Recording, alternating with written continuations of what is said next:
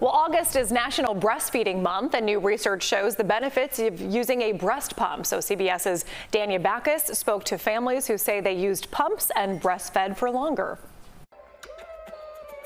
Nikki D'Antonio is grateful for this time at home with her seven-month-old daughter, Lillian. And now that it's time to go back to her job as a math teacher, she's working on getting Lillian to take bottles with pumped breast milk so she can continue to breastfeed. My goal is to do at least a year.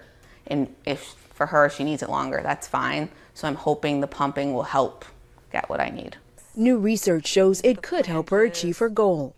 A Yale School of Medicine study finds women using breast pumps are more likely to continue breastfeeding for about 21 weeks longer than women who don't use pumps. We didn't know if pumps were beneficial or, or, or harmful to breastfeeding duration, and they appear to relate to a longer breastfeeding duration. It's wonderful that we have this tool um, that can be helpful to breastfeeding moms. The study looked at more than 19,000 mothers. 91% said they used a breast pump. Study author Dr. Sarah Taylor says the findings are good news since breastfeeding benefits mother and baby. So for babies, we see less ear infections, long-term uh, decreased risk of diabetes, of cancer. For moms, we see decreased risk of cardiovascular disease and certain types of cancers. D'Antonio says it hasn't been easy, but she's doing what she can.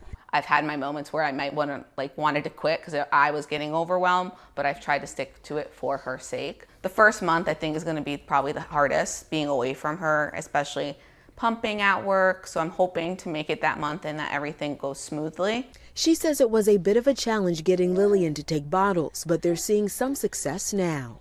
Danya is CBS News.